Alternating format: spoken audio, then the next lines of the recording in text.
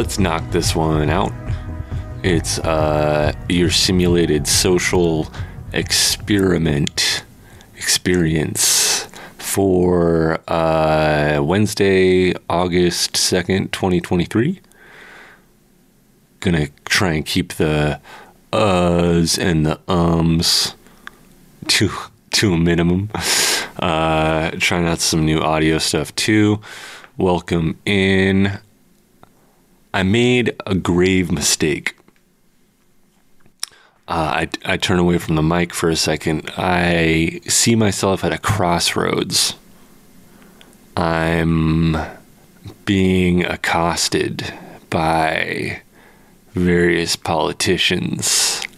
They tell me they're socialist. I there's it's uh I don't know what's going on. Uh there's bread lines, uh poverty. There's a crossroads. I I turn left. Uh I turn left again. I keep turning left and I end up in uh some sort of crypt keeper's uh mansion. It's underground. It's a bunker. He's a operator. He's got Oakley sunglasses. He's the man in the Oakley sunglasses. The man in the Oakley sunglasses haunting my dreams at every crossroads where the politicians aren't what they say they are. Why why does that always happen with politicians? Why does it always happen with the people? Why do why do the people who are deceiving me always deceive me? I don't get it. You know what I mean? I will say I made a grave mistake that I'm going to amend. it was probably a bad idea to to watch Valerie in her Week of Wonders as like a an example of Czech new wave cinema.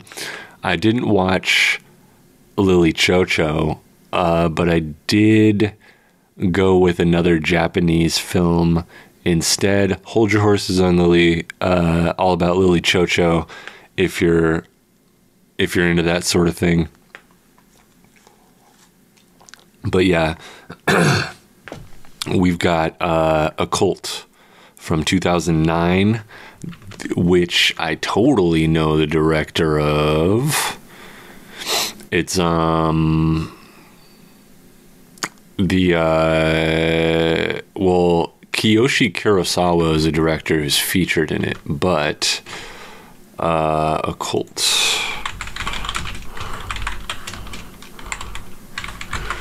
It's a film by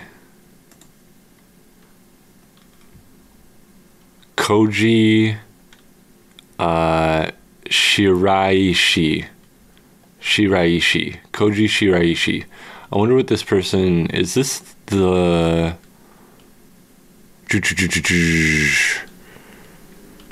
I think he's an, a character in here. Koji. Who does he play? The director. Yeah, yeah, yeah. I think he plays what I was calling the uh, the third producer. He's the director. So basically, this is a movie. I'm gonna get into it later, but it's a it's a really interesting found footage uh, film in the series of different found footage films by this director Shiraishi.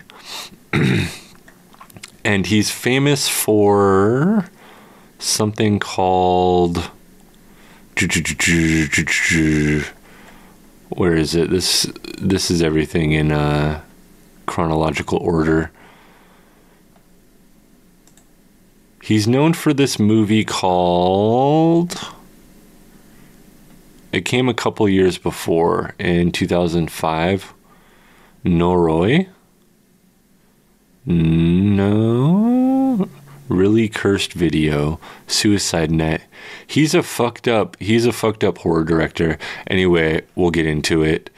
Um but before all of that, there is a lot of weirdness uh kind of surrounding the Valerie and her Week of Wonders film. Not only did it sort of come after the true, uh, what do you call it? Like era, like saga of the uh, the Czech New Wave, which is more 1965 to 1968, um, when the Prague Spring happens. Um, might get into that a little. Yeah, yeah. We'll we'll talk more about the film specifically, but what I wanted to get into up top.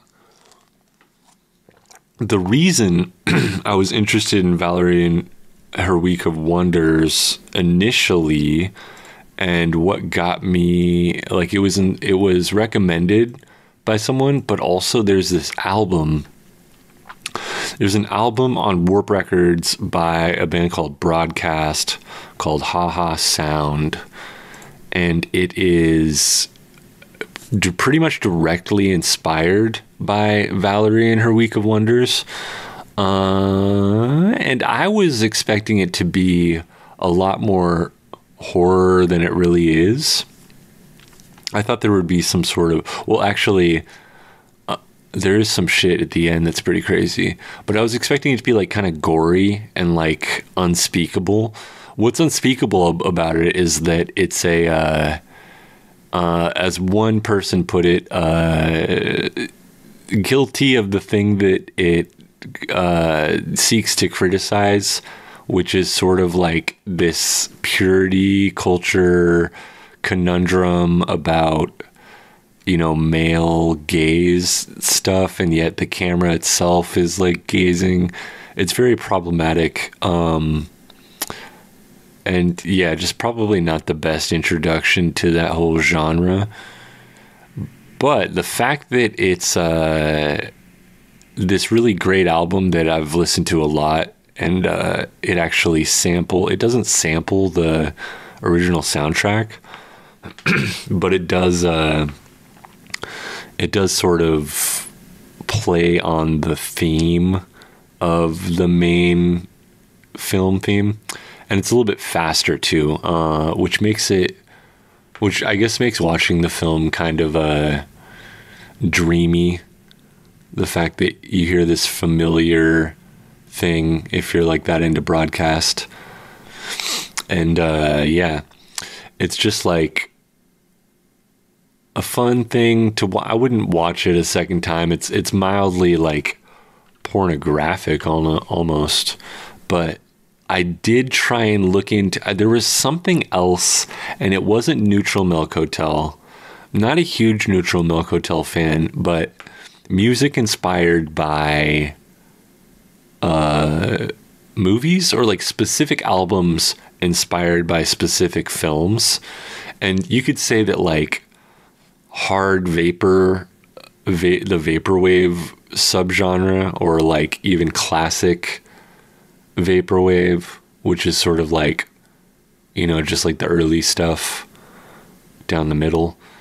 that that's um, it's like Blade Runner inspired, but there's also quite a lot of stuff ranging from like the early 80s on whenever that movie came out that that is uh highly, highly inspired by it.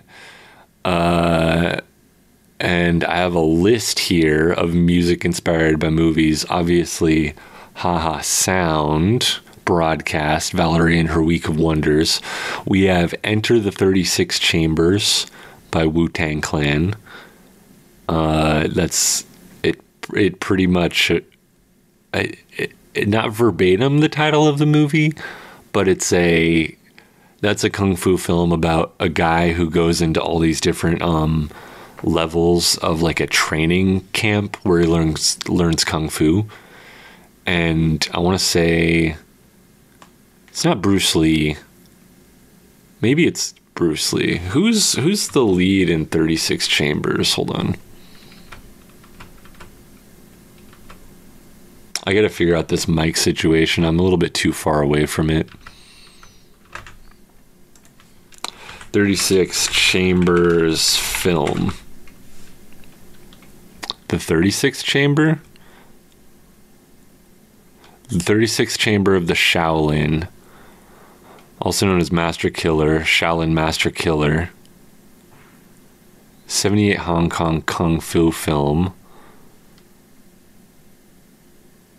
The film shows a highly fictionalized version of San Te, legendary Shaolin martial arts disciple, trained under general who trained under the general Qi Shan. Yeah, it's not Bruce. It's not Bruce, I'll tell you that. American Gangster, Jay Z.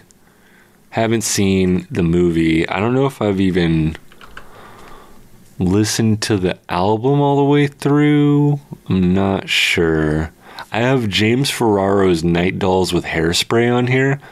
that explores a, a lot of like slasher flick type stuff. Purple Rain. That doesn't really count because there's I think that's just an that's just a soundtrack to the film itself. So under the Blade Runner section here though, we've got uh Pop will eat itself. This is the day, this is the hour, this is this from 1989. Uh, the song Wake Up Time to Die is built around that quote from Leon when he was about to kill Deckard. I haven't seen Blade Runner either. I've seen most of 2049. That's going on the list here pretty soon.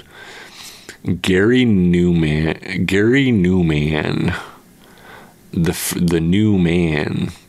He did an album called Outland that has several Blade Runner uh, samples, but he has a few other albums with Blade Runner samples. Hmm, let me clear my throat real quick. Do do do do do do do.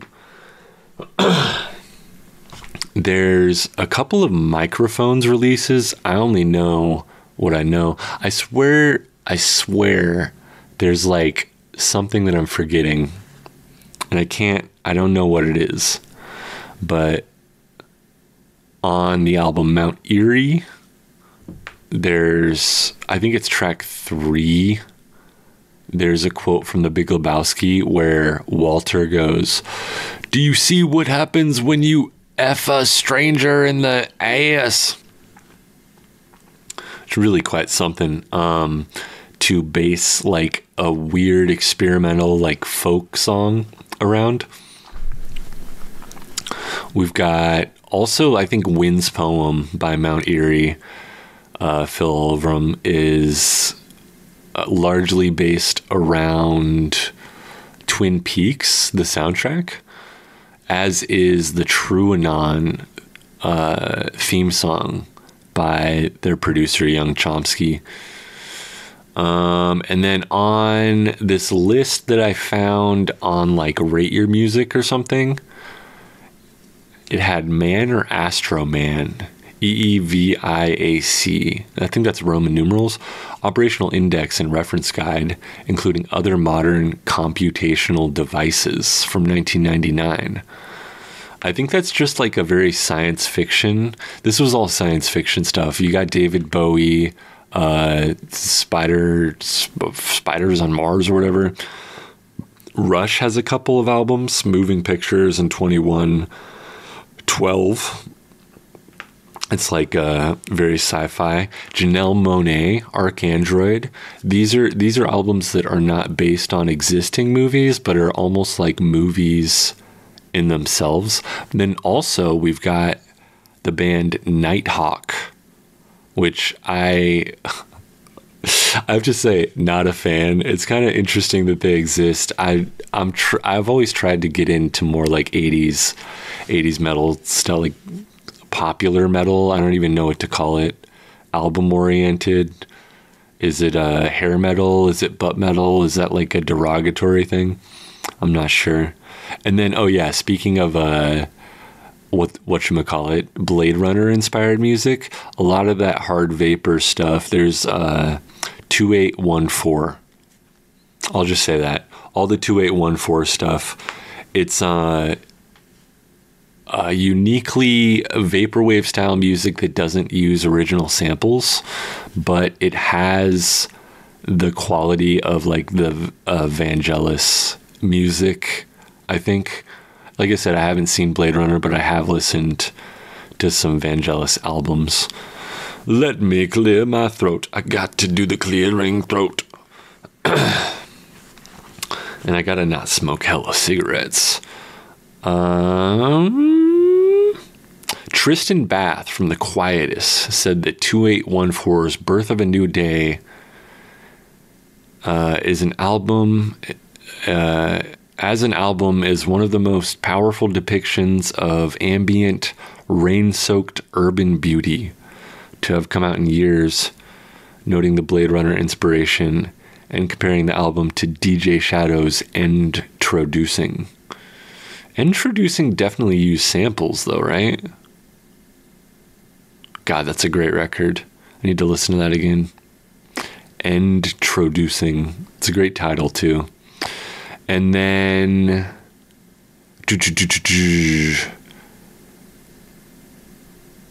Oh, yeah. The last thing on the list, besides this weird, uh, it, silent film I found, is 1992 Cool Runnings by Lamborghini Crystal. James Ferraro again, in a collaboration with a guy called JC Peavy. This has a different uh, album name and a different couple di- a couple different album names and it goes by like a different uh, band name as well. Grippers know their onesiers live at Slimer Beach, or it's also known as 1992 Cool Runnings. And it was on a label called Old English Spelling Bee. Very weird, but early James Ferraro stuff. Uh, on one of these rate your music lists or something, someone said that a silent film called Sunrise, A Song of Two Humans from 1927 by F.W. Murnau is similar to Joanna Newsom's Ys. Uh, and I think it's it's a story of infidelity, and I think it might be a weird speculative fiction. So thematically, doesn't really fit Ys super well, but uh, yeah, that's all. That's all the specific albums by artists based on specific films. But honestly, I have to say, uh, Haha Sound by Broadcast is almost like the prime example. That Jay Z album is like a really good example too. But uh, yeah, it's hard to say. It's hard to say if there's anything else that sort of resembles that in that way. The Mount Eerie one, for sure. For sure. But I would say that a lot of his work, and not that one in particular, has been inspired by Twin Peaks. Um, but yeah, that's it for the freaking bonus content. Oh, yeah, I wanted to say up front, but I for, totally forgot. New comics up every week or so on the Patreon, three bucks a month. Hit it up. Uh, let's get her going. Let me take a break and clear my throat, and then we will talk about some uh, movie film stuff. Thank you.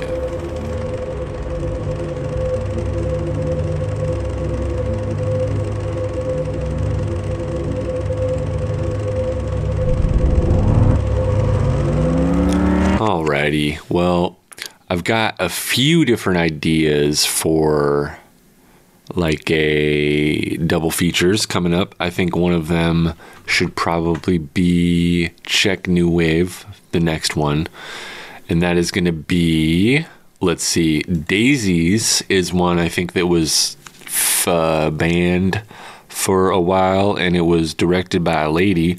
So let's do that. And then Ikarie XB1 or The Voyage at the End of the Universe, which is the only like science fiction film in the repertoire of the uh, the Czech New Wave directors. Now, Czech New Wave was known for its use of non professional actors. It was characteristically sort of art born from hardship. It was a country that was not uh, on decidedly one side of the global conflict conflict of World War II. Um, they were sort of victims of the Holocaust. It's it's a complicated political landscape, but I guess basically from 65 to 68 there was this almost um, like summer of love kind of thing going on. And yeah not only was it like sexual liberation but it was like these intense political commentaries about Nazism and communism and central planning, the failures of central planning, uh, the the Soviet Union as this monolithic, like almost like draconian, and in, in some cases, uh, power structure. And all of the complex things that goes into like being a, a nation with it's why it's one of the like I suppose one of the smaller uh, countries to have like a new wave uh, in film. You've got uh, Hong Kong and France and and uh, India, but the, these are uh, I don't know that much larger GDPs, I guess you could say. Czechoslovakia, not to say Czechoslovakia is like some backwoods like non-country. I don't I don't I don't really know about that either, but uh, it's interesting that such a small country had such a huge uh, impact on uh, experimental film at the time, right? So we're definitely got to get into that next week, and it should be fun. But let me tell you what I want to do as a lighthearted sort of antidote to all of this uh, World War II and like crime stuff. I've been like, I, I love Japanese. I'm I'm falling in love with Japanese movies more and more, but I want to keep it lighthearted and do two movies about beer that I've never seen, and one of them is a lot more recent than I thought. First one is Strange Brew, and the second one is Beer Fest. I'm not a big drinker myself, but they just kind of came up randomly on the internet for me, and I was like, you know what? Should probably hit those two birds. And then, last but not least, uh, Skinamarink has been on my list, and I think uh, the idea of checking out Blair Witch for the first time is is probably on the docket after seeing Occult. It's I've I've described it as the Japanese Blair Witch without having seen the Blair Witch, but it's very famous, like sort of found footage. Oh yeah, The Cure. The Cure is the name of the other uh, the other movie by the guy who did uh, freaking Occult. So to talk about uh, Valerie in her Week of Wonders. Shout out to this YouTuber called Film Qualia, where I got the idea for these other new uh, Czech New Wave films to check out. Film Qualia describes it as a problematically perverse fairy tale ruled by a nightmare logic. And it's pretty cool. I mean, there's there's pretty badass like uh, gothic imagery all throughout this. Uh, the the polecat, which I thought, I actually thought that the polecat was like a that was a translation for for some reason of like meerkat or possibly a ferret, but a polecat is like its own thing. It kind of looks like a ferret or a meerkat if it was black, but uh, yeah, the the story largely revolves around the the polecat and the chicken and blood dripping on like this forget me not or daisy or whatever you call it. And valerie ends up uh having her first you know menstruation and then like falling asleep shortly thereafter and you get the sense more or less that the entire movie is just a dream but she's uh, accosted by several like full grown men. There's this guy named Orlick who, right as she falls asleep, like steals her earrings from her. Now he's like her companion, and it's said by other characters, including her elderly aunt who kind of morphs into her grandma, who then becomes a vampire and regains her youth by possessing someone else.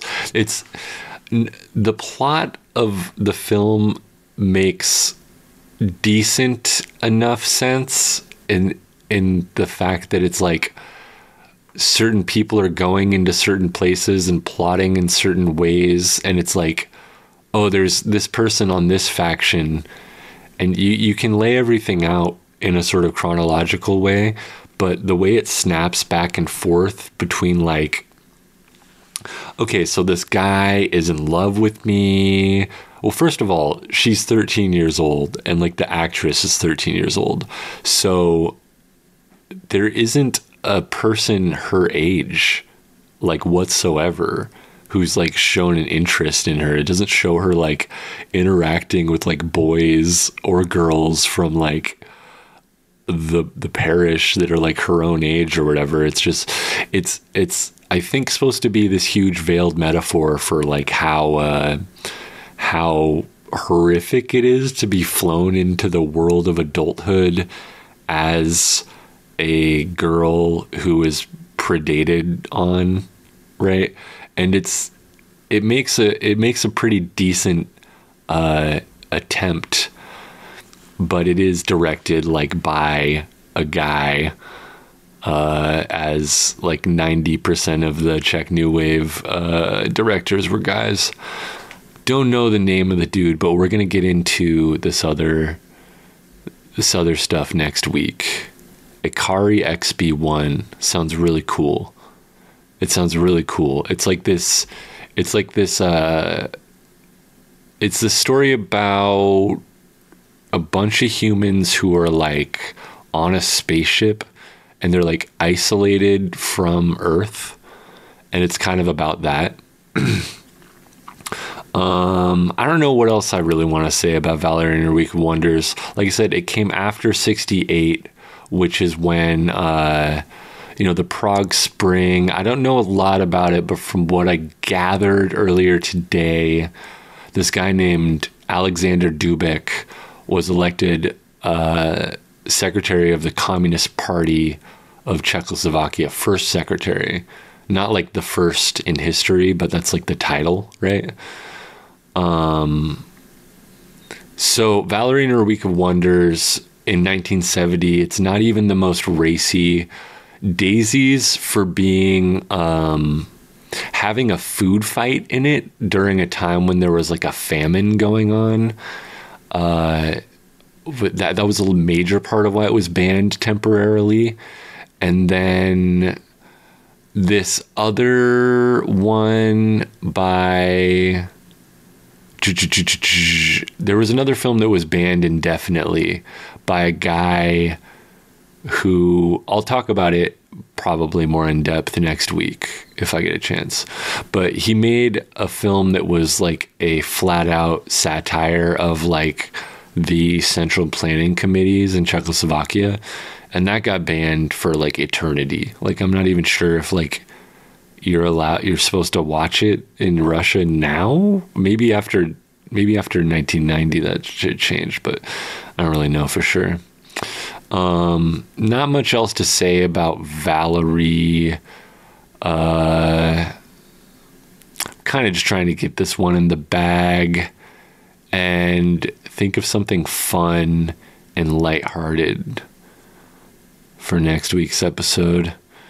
Um, yeah, a polecat is often well, it's literally means a cat that eats chickens because pole pol, po, pollo, pole. I don't know if that's Latin or something. It means uh, it means chicken. So it means like chicken cat. Oh yeah, and also it's kind of like a queer thing. That's the other thing I would say is that there's like a lot of uh, women who uh, enter into the picture, and at one point she even shares a bed with one of them.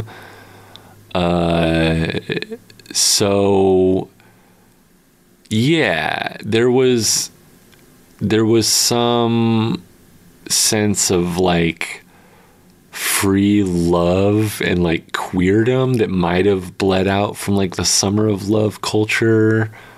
I don't really know, but it's it's it is strange to say the least that this film does at at for short periods and in some weird ways, I guess, uh, makes this w- statement about like Puritanism and purity culture while also, um, I don't know, like it's it's not something they should have done. It's not something I'm sure is even uh, like legal by some standards. you know, it's it's not something that I'm proud to have like gone down this rabbit hole, but it is it did spurn the list of uh, interesting albums. Which, by the way, if you have any recommendations, submit them to the pod on the like Twitter. Subscribe subscribe to the Patreon. Submit them there. That's that's the way to do it. Check out my comics. Uh, do the Patreon three dollars a month, but watch some Czech New Wave with me next week, and that's going to be Ikarie XB1 and Daisies. But we're going to talk about a lot of other stuff too. Might even watch some other feature length films. We're doing the horror stuff still, but I even, I mean, over on the Twitch, but I even made a left turn from that and watched Occult, which we're going to talk about next. Uh, and spoiler alerts for sure, because it's hard. It's hard not to spoil this one. It boils like a frog.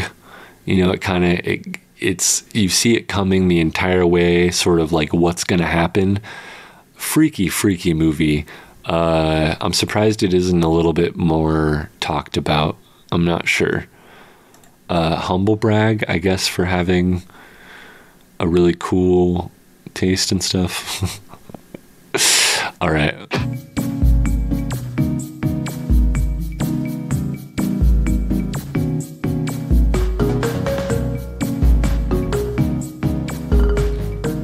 Yes, well, I have been talking about Kiyoshi Kurosawa a lot on the podcast, and he actually makes an appearance in this movie as himself. And uh, he's like, Yeah, I'm a horror director. I've been looking at that rock that you're interested in. And uh, yeah, it's a pretty freaky rock. What can I say? And they're like, We found this thing uh, there. And he's like, How did you find that? And they're like, There's this like hidden hole. And he's like, Damn, and then it, the, sc- the screen fades to black and it's like kurosawa went back to the rock but he couldn't find the hole that we were talking about it was like damn but they got him they got him for a few scenes it's not even a cameo it's like i guess he's like a fairly obscure director i guess maybe to american audiences I'm like humble bragging all over the place. I'm trying to be like not a pretentious hipster about this shit. But uh he's like he's like kind of a big deal. I want to see this movie uh, Cure, but we've got Koji Shiraishi. He's made a ton of these like uh just freaky freaky found footage style horror movies. Um and one of them is like do, do, do do I have it here? The one I was thinking of earlier is called Noroi the Curse, not the Cure. Cure is uh, Kuros- Kurosawa. But he also, what are the other ones? The Cure, 2007, Grotesque, Occult, Teke Teke, and Teke Teke 2. And then Cult without the O. Is that a found footage one? Yeah, all of his movies are found footage for some reason. But it says here he directed, and I'm very interested in some of his more recent stuff. Welcome to the Occult Forest TV series. And then they made a movie of that in 2022 interesting. His most recent thing is called Aishiteru. Misa is an underground idol and being filmed closely for a documentary one day. An owner of a BDSM club H perceived Misa's and headhunts her as a dominatrix. Misa is confused at first, but when she meets the top dominatrix, Kanan, she learns sexual pleasure she'd ever do. She then decides to pursue a career of both idols and be- whoa. Oh, safe word. Safe word is the English title. That's awesome. That's fucked up. But no, okay, so Shibuya 2036, a 2021 TV series, Shibuya. The year is 2036. Shibuya is also where a lot of uh, occult takes place. In contrast to the front face of the city, okay, so basically it's um, it's just outside of downtown Tokyo. So it's I don't know if it's like considered a borough of Tokyo, but it's part of Tokyo province. Uh, city has its huge skyscrapers. The backside of Shibuya is a home ground for WeTubers. Mitsuru, played by Yada Yada, and Karuku, played by Yada Yada, who grew up together as orphans, live a life at the bottom of the latter with no family, education, or money, but they gr- dream of a great turnaround in their lives by becoming popular WeTubers one day they encounter a mannequin uncle. What? Played by Shohei Uno. When he releases a video of his encounter with the suspicious mannequin uncle, the number of views on their channel increases dramatically. Viewers begin asking him for advice, and they decide to help solve their prob- to help solve their problems. However, they soon find themselves caught up in a puzzling case I wonder if that was translated. A mannequin uncle? I don't know what that means at all. I don't know what that means at all. I wonder what else. He did something called Hell Girl in 2019. Tormented and bullied people can access a special website run by a Hell Girl who will enable them enable, enable them to take revenge on their torturers.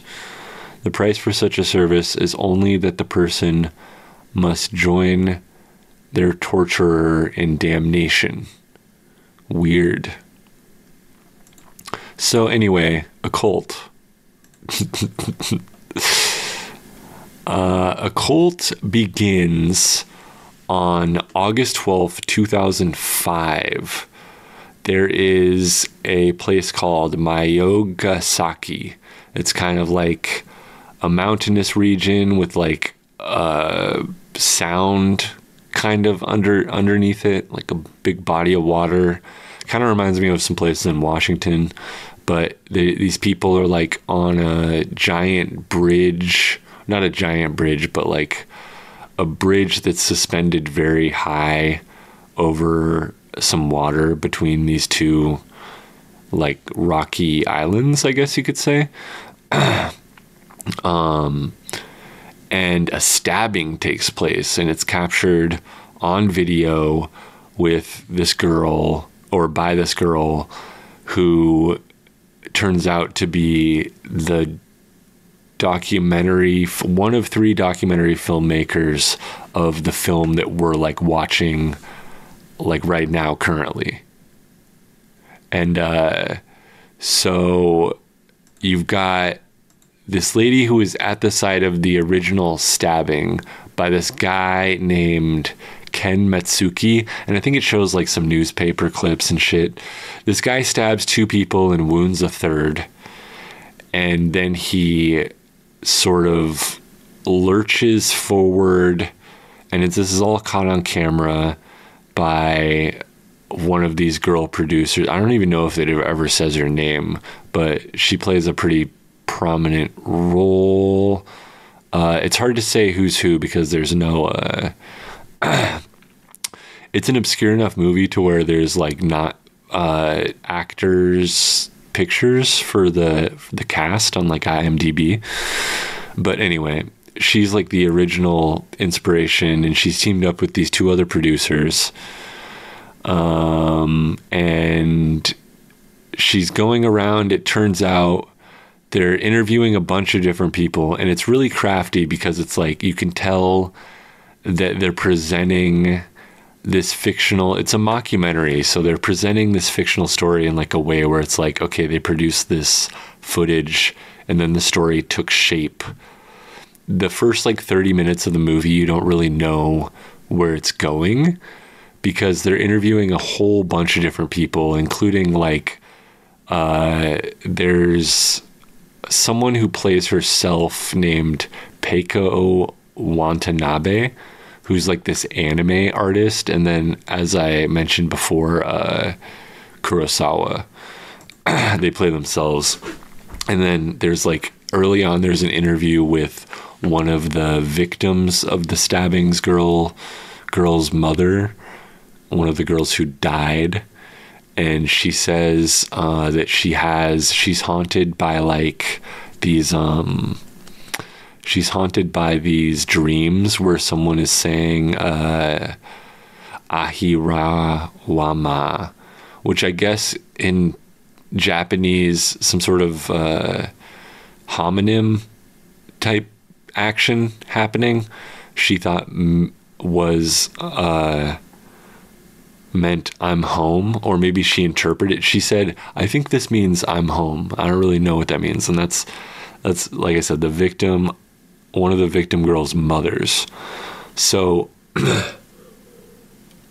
one of the other guys who is interviewed is named Shohei Ino, and he survived after getting like slashed multiple times after like okay so something weird happened where this other girl who is the the the first I'll call her the first producer of the movie itself whatever this occult that we're watching um she catches it on footage where like his legs freeze up and he's caught on the ground without being able to walk for some inexplicable reason.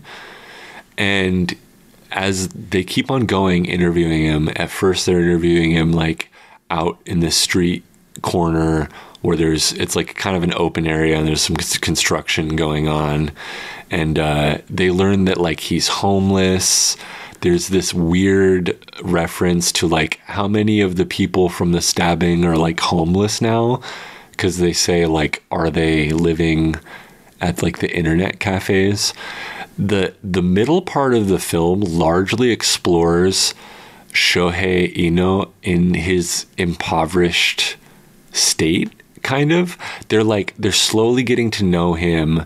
They're slowly realizing that he has this strange attitude towards Ken Matsuki, who I'll remind you is a guy who like walked up to him after he was magically paralyzed and mutilated him and then walked away and disappeared into another dimension after jumping off a cliff. Like they never found Ken Matsuki, right?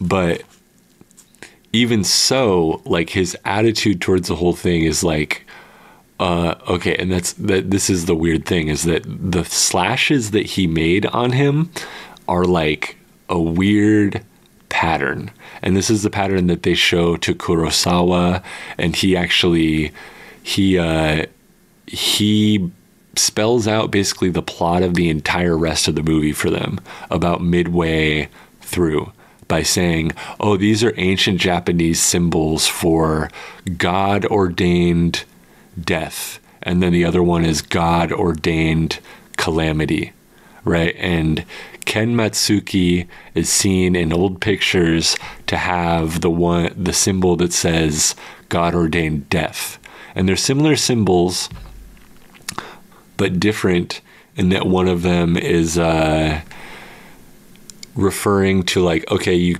uh, something smaller, basically. So it gets laid out that you know this guy's living in poverty. Pivotal scene in the movie is when the three producers they've taken him into their studio where nobody else is living, but they're letting somehow they're trusting him being this like whatever. They they offer him a job collecting footage of these strange anomalous things that he calls miracles. He claims to have seen ufos um, people very early on in the film interviews about people who knew ken matsuki say that he was really into ufos as well. So what's happening here is basically like a weird devil possession two pivotal scenes in the movie. The producers are going through Ino, uh, Shohei Ino's stuff while he's on. He's like a temporary worker, so he has to call like the place a lot. For how low budget this movie is, the the plot is incredibly complex and crafty.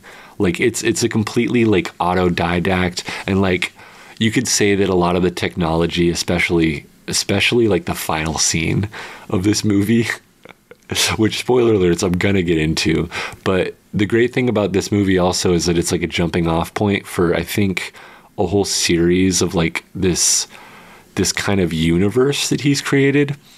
Anyway, pivotal scene, they realize that this guy is not actually impoverished.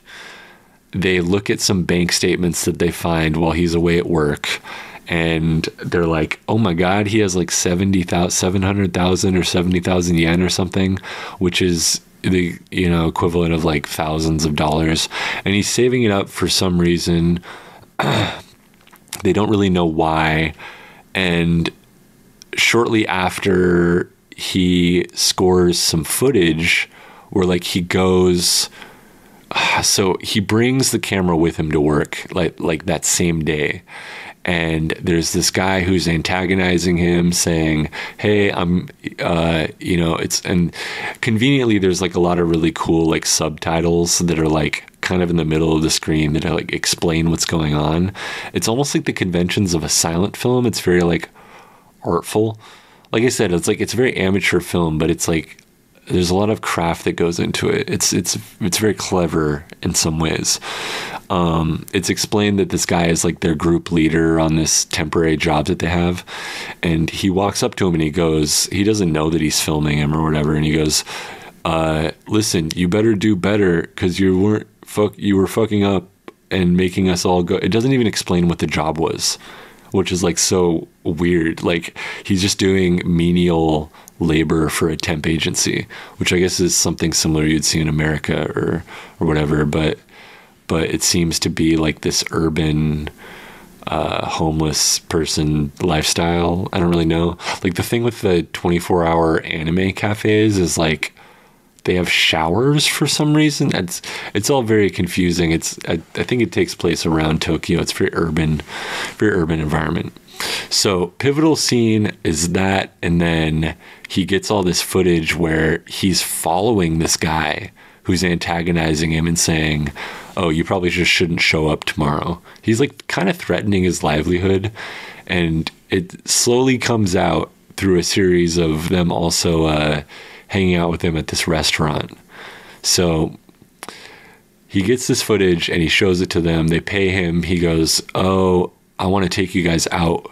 You know, he takes them out earlier after he gets he gets a job. It's all it's all very cut and dry, you know. But through these two restaurant meetings they're filming and it slowly comes out that he has this whole idea about the miracles that like he's been possessed, right? but the second meeting only the main producer, who I'll call the third producer, who is, uh, I believe, the guy who's played by the director himself. Um, fucking, it's a very hard name to remember. Whatever his name is. Shiraishi. Koji Shiraishi. Shira if I just remember Koji Shira, like the like the cartoon character. Anyway, um, I believe this is a guy who's played by the director himself, and he's got these glasses and a beard, and he's like a kind of a thicker face. The second meeting, he's the only one who goes along because the other two are sitting there and they go, "Oh, I have plans. I can't. I can't really." So it's just them two, right? And he goes, opening up, it's very crafty. He goes, you know, I this thing about the miracles and you think you're possessed. I think I want to help you. And he goes, okay, here's how you can help me. This is what I believe. Blah blah blah blah. I'm gonna plan. Okay, so I told you about the voices that I heard, but I didn't tell you what they. I told told you that I didn't know what they meant, but I did know what they mean, and it was, you know, like suicide bombing in Shinjo air what is it? The the uh, what is it called? The station? Shibuya station. Suicide bombing in the Shibuya station right and so they're like for some reason Ino who he convinces them to call Ino Kun instead of Ino San, which I guess is like this Western dialect thing, and also like an informal thing. You know, there's there's this really interesting conversation they have about informality, and it's like, I can't understand what people are saying when they use informal dialects. And he's like, Oh, we're from the West Coast, you're from Tokyo. but anyway, he's like, I thought we were friends, yada, yada, yada. He somehow convinces him in this second solo meeting in the restaurant to go along with him. he's gonna kill he's gonna kill so many people in the Shibuya station. He he's like he c- confirms that yes he's been researching how to make bombs it's it's like the movie takes a dramatic turn at this point where it's like oh shit okay, so the director, wait, not only is like the main guy who we've been following for like an hour, but also the guy behind the camera who has like this meta connection to the story as like also a protagonist. But it's wait, what am I watching? Wait, what? They they go to a store and get some nails and pipes and like random uh, chemicals and shit, and uh, so basically Ino thinks that he's going to he's going to explode and he's going to be he's going to pass on into like heaven or quote unquote God's country or something, whatever he says. Uh, and he's going to take all the people that he kills with him. And they have this argument where he's like, okay, so even if you are going to heaven, like you're taking these people, you're imposing your will on them it's like an it's like this argument they have about eh, like wrath and stuff and that's how somehow he convinces him to go along but when they're out buying all the supplies and they have this huge duffel bag full of like random shit and it's really heavy this just random guy on the street accosts them and tries to take the bag and it cuts back and forth and they steal the bag back and forth from each other. And the guy's just going it's hell. It's hell.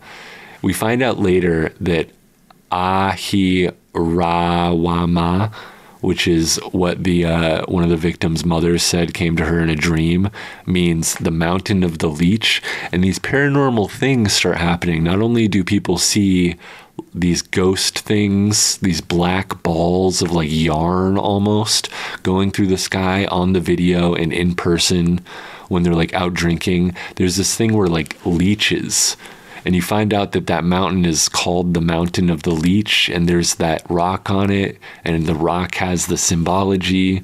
It all ties together like by the end of it. But they keep one of the paranormal things that happens is they keep getting a row of leeches.